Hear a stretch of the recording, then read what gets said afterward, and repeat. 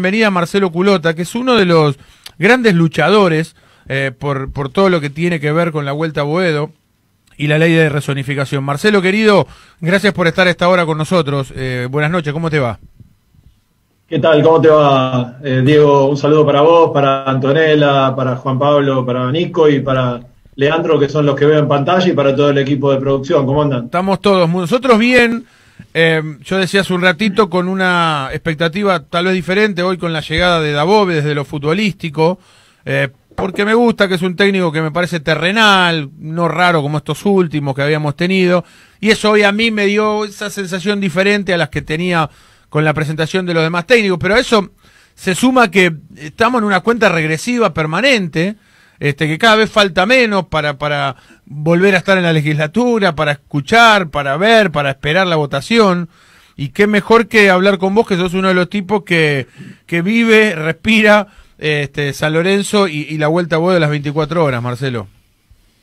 Bueno, muchas gracias, Diego. Sí, es así. La verdad, bueno, primero lo que mencionabas vos, eh, es muy importante que, que, San Lorenzo se empiece a encauzar en diferentes eh, áreas, ¿no? En el área técnica del primer equipo de fútbol. Esperemos que se pueda arreglar el vestuario, que ahí tenemos un tema, eh, un tema importante. La semana pasada ponía un tuit que me parece que hay que tener mano firme, mano firme desde lo dirigencial eh, y que baje esa línea hacia el vestuario. el jugador de fútbol es un empleado de San Lorenzo de Almagro y, y tiene que respetar a, tanto a la institución como la historia grande de San Lorenzo. Entonces, eh, partiendo de ese punto y que lo entienda el plantel y, la nueva, eh, el nuevo director técnico con sus ayudantes, eso es muy bueno, ¿no? Entonces, bueno, a partir de ahí eh, tenemos, no voy a decir arreglado, pero tenemos encauzado para el nuevo campeonato que se viene, ¿no? Totalmente, porque, a ver, decíamos que para nosotros que somos de San Lorenzo, el resultado futbolístico también nos cambia el ánimo para un montón de otras cuestiones eh, y nos da fuerza para ir a, seguir luchando. Más allá de que en, en los momentos malos también aparecen eh, eh, los hinchas de San Lorenzo en todo sentido, en las buenas y en las malas hasta el fin, como dice la canción. Pero contarle un poco al hincha que, que tiene este, esa desesperación de saber cómo este, viene todo pensando en febrero, en, en la ley y, a ver, ¿cuál es la situación hoy? Después de que el gobierno de la ciudad está queriendo saber qué opinan los vecinos y qué puede pasar, eh, Anto, en, la legislatura también, Marcelo. Exacto, sí, mira, eh, bueno, hay dos o tres puntos de trabajo y dos o tres puntos que atender respecto a lo legislativo de lo que está sucediendo. Eh, primero vamos a lo legislativo, que es lo que hoy por hoy en redes sociales y en todos lados sale, que es la participación vecinal que se está haciendo desde el gobierno de la Ciudad de Buenos Aires, que la abrió el miércoles pasado de la semana anterior, donde podés inscribirte, eh, los links están girando en las redes sociales y uno y uno puede como vecino inscribirse, eh, contestar una serie de dos a tres preguntas y si pones que sí que querés participar en, en uno de los Zoom eh, y reuniones participativas vecinales que hay, lo podés hacer y te llega un correo electrónico donde te van a citar para un día determinado, también mediante un llamado telefónico te confirman el día y la hora. Hoy estuviste, Marcelo, vos en una reunión. Hoy vos estuviste presente en una reunión. Sí, en la de las 11 de la mañana, hoy hubo una a las 11 de la mañana, a las 15 y a las 18 horas. Va a haber otra el día jueves, también lo mismo, a las 11, a las 15 y a las 18. Entiendo que de acá a fin de mes se van a estar haciendo dos eh, días a la semana estas reuniones participativas. Fue muy bien, eh, un poco repartido el tema de que sí, de que no, que el apoyo, que no apoyo, que eh, la gente se expresa y me parece muy bien. lo que sí hay que, siempre pedirle a la gente que se exprese con, con respeto, con propiedad. ¿Y son grabadas? ¿Las charlas son grabadas?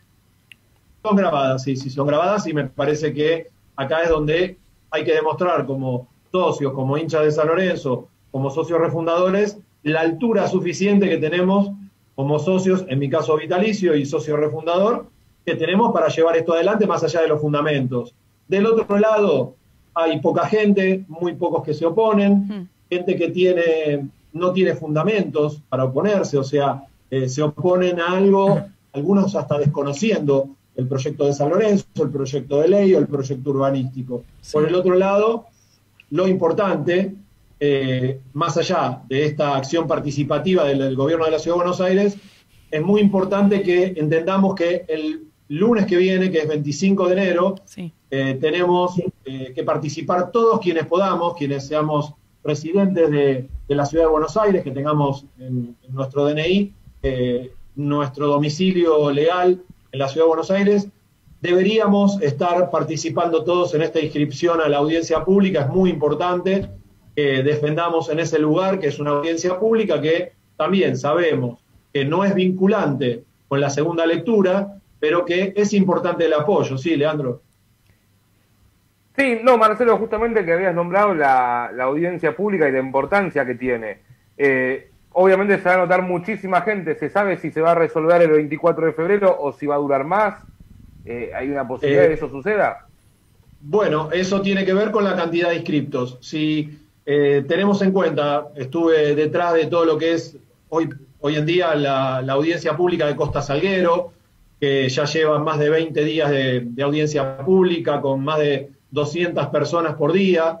7.053 personas se inscribieron en la audiencia pública de Costa Salguero, con 27 jornadas desde eh, la última semana de diciembre del año anterior y continúa hasta este fin de mes. Bueno, tenemos que saber, obviamente, que cuanto más gente inscripta eh, haya en la audiencia pública, más vamos a demorar la segunda lectura, pero no por eso tenemos que dejar de participar y defender la causa. Y hoy si tenemos primero la audiencia pública, hay que volcarnos a la audiencia pública, donde el lunes tendremos que inscribirnos todos aquellos que queremos defender el proyecto de ley, a San Lorenzo, su historia. Marce, en realidad mucha gente me estaba preguntando recién cuáles son los pasos, ¿no? Porque vos estás hablando de las audiencias públicas que son muy importantes, le estás brindando justamente ese tiempo tuyo y muchos hinchas de San Lorenzo también, pero ¿cuáles son los pasos más importantes que tiene hoy San Lorenzo de cara a que finalmente tenga firmada la ley de resonificación de acá a marzo? En el aspecto legislativo, la audiencia pública el 24 de febrero en adelante, dependiendo de la gente que se inscriba, y calculamos que para mediados de marzo, entre la primera, entre la primera sesión, perdón, sesión legislativa en la legislatura y la segunda, que podría darse en la segunda y tercera semana de, marzo, del mes de marzo, eh, ahí tenemos eh, lo que sería un calendario, ¿no? Primero la audiencia, después eh, va a pasar por revisión el proyecto de ley, tengamos en cuenta que este proyecto de ley en la segunda lectura conlleva la aplicación de un proyecto urbanístico que debe ser eh, tratado en la segunda lectura también, conjuntamente con las contraprestaciones que debe dar San Lorenzo por este cambio de zonificación y eso es un paso legal que debemos dar. Ahora después estamos atendiendo otros temas que tienen que ver obviamente con el proyecto de ley, en mi caso estoy participando de un grupo de trabajo que estamos trabajando con los urbanistas, con los abogados de San Lorenzo, con los contadores, con el gerente general eh, también de la Vuelta a Boedo, con Jorge Balsas, eh, con Miguel Mastro Simone.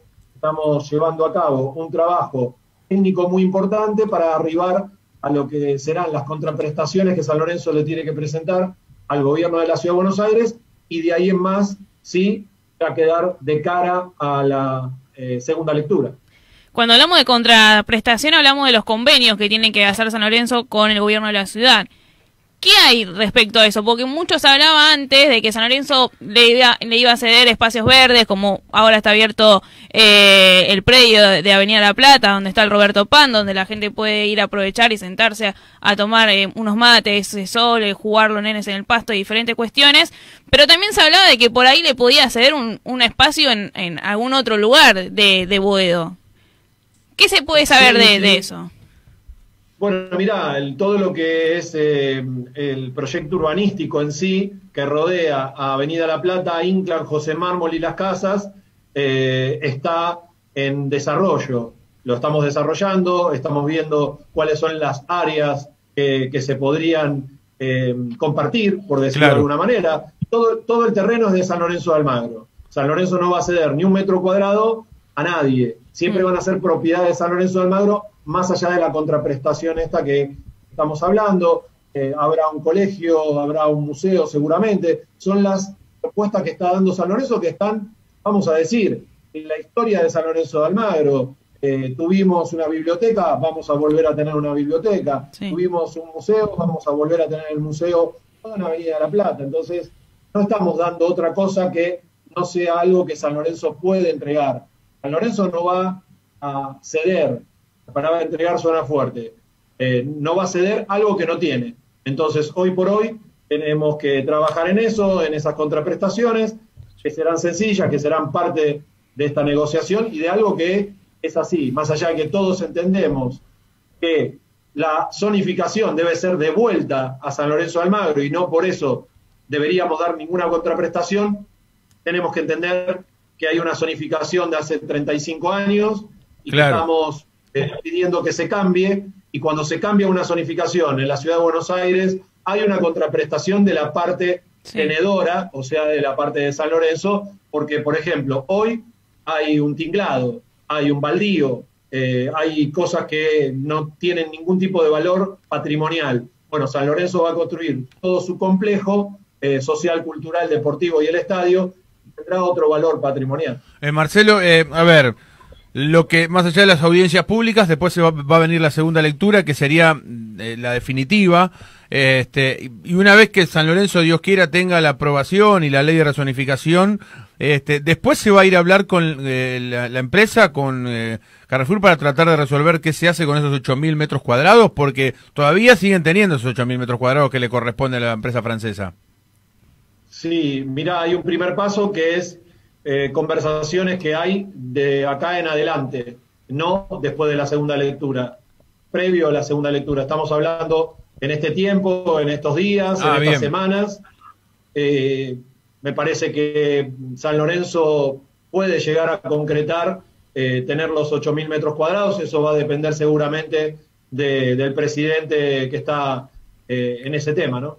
Bien, eh, ojalá que entonces Marcelo, de acá... Es importante que San Lorenzo tenga ocho, esos 8.000 metros cuadrados Antes- antes, de la segunda lectura. Porque se va, a la, se va a la segunda lectura, Nico, o, o, o- o Leandro Cine está hablando, pero seguiría de esa manera la segunda lectura con, entre comillas, el terreno de manera es que si completa. no, si vos no, no tenés esos 8.000 metros cuadrados, Antes. tenés el predio incompleto, entonces Claro. vos tenés que eh, modificar todo el plano de nuevo. Otra vez. Sí, ¿quién iba a preguntar? Perdón, Pero chicos. perdón, hay una empresa canadiense que quiere Dale, ¿eh?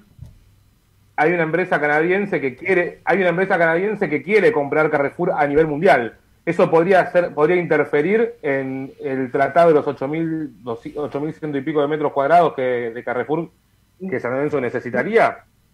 No, no, no, es eh, Carrefour, hoy es una multinacional independiente, se cayó el acuerdo que tenían, eh, se cayó en el día de ayer y las acciones de, de la empresa multinacional cayeron a nivel mundial, así que hoy están peor parados que anteayer, Claro. o sea, que el día viernes de la semana pasada. Entonces, eh, es una cuestión de eh, primero reunirse para conversar y después para negociar. O sea, Bien. son dos pasos. Primero la, una reunión de conversación y ver qué quiere una parte y qué quiere la otra, o qué puede entregar la otra parte, que sería San Lorenzo.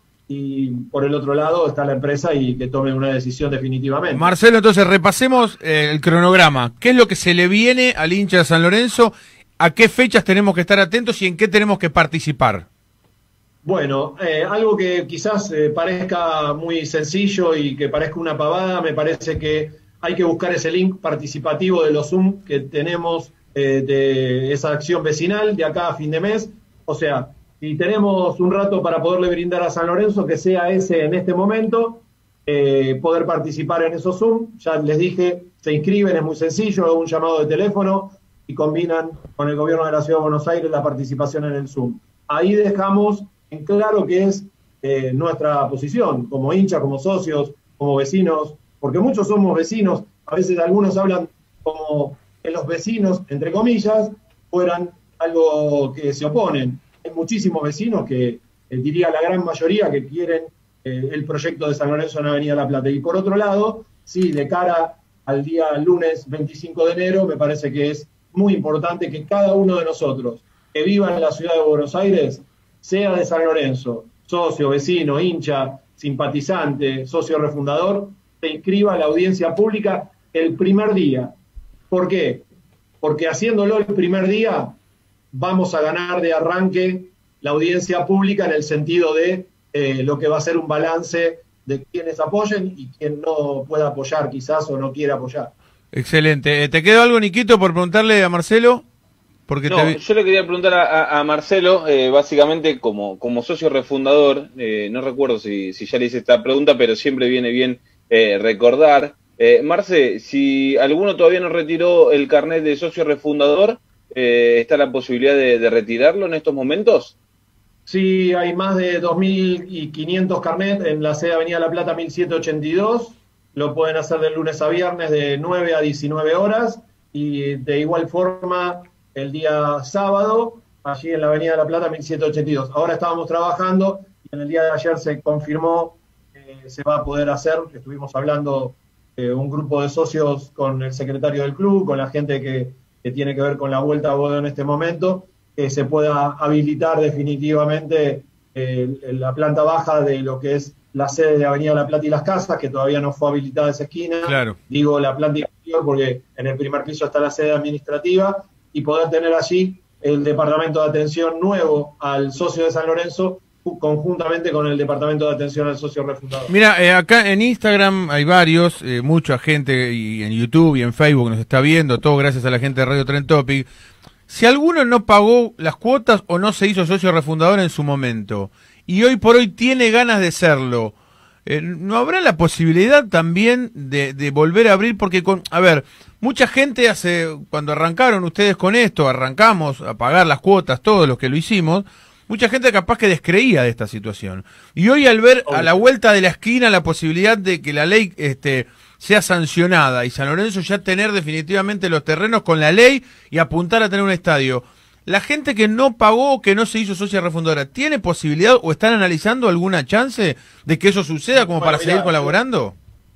En lo personal, Diego, tengo eh, mensajes eh, de la gente de WhatsApp en las redes sociales permanentemente por ejemplo, uno en el día de ayer que quería terminar de pagar su metro cuadrado que no lo completó. Claro. A ese, a ese socio o hincha que no completó su metro cuadrado hace ya tres años y pico que, cerró el fideicomiso, no lo puede completar. Pero ayer justamente con el secretario del club, con Miguel Mastro Simone, estuvimos hablando de la posibilidad de un nuevo fideicomiso para, que la gente, para que la gente pueda aportar. Lo vamos a necesitar, el fideicomiso, de una manera o de otra se vendan o no se vendan metros cuadrados, vamos a necesitar porque va a ser el lugar de ingreso de, dinero económico para que podamos hacer parte del complejo o parte del estadio. Entonces, eh, la posibilidad de un nuevo fideicomiso es concreta, veremos si eh, nos ponemos a trabajar sobre eso y tenemos la posibilidad de dársela a la gente para que compre su metro cuadrado o a futuro eh, pueda comprar su abono o lo que sea eh, en beneficio de San Lorenzo en Avenida La Plata. Marcelo Culota, gracias como siempre por estar atento, por ser parte de alguna manera de San Lorenzo de América. Sabés que te, valoramos mucho, yo en lo particular, este, me parece que es un tipo importante para esta estructura de vuelta a Boedo. Este, por eso, desde el lugar mediático que tengo, eh, siempre trato de, de, de, ayudarte a difundirlo, este, porque soy hincha de San Lorenzo, porque quiero la vuelta igual que vos y que igual que muchos. Tal vez no como vos, que esos, esos locos que están las 24 cuatro horas esté pensando en eso, pero sin gente como vos, con esa capacidad y con esa eh, fuerza de voluntad, este, no estaríamos donde estamos. Nosotros desde nuestro lugar apoyamos desde este, este modesto espacio, desde nuestras redes sociales, desde nuestros este, nuestras diferentes plataformas, de la, página, la radio y la web, este, pero nada, siempre te digo lo mismo, como aquella vez en Avenida La Plata, que todavía vivía mi viejo y te dije gracias, este, cada vez que puedo te lo agradezco. Hace poco nos mandamos unos mensajes y te dije lo mismo. Este, en voz a un montón, pero digo, gracias por esta lucha. Este, cada vez falta menos, no hay nunca que bajar los brazos y me parece que está bueno esto, de estar encima, estar atentos, de estar pendientes y de seguir apoyando porque estamos cada vez más cerca de, de cumplir el sueño definitivamente y de hacerlo realidad.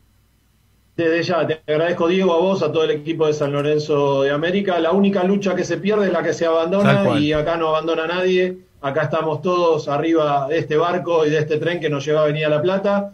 Y para que nos bajen tiene que pasar muchísimas cosas y, lo creo bastante difícil. Así que les agradezco yo a todos ustedes porque cada retweet, cada información que se replica es por el bien de la causa y nada más que para eso. Así que muchísimas gracias a todos ustedes y estoy a disposición del equipo de San Lorenzo de Nosotros lo mismo, Marce, abrazo grande, gracias, eh, en serio.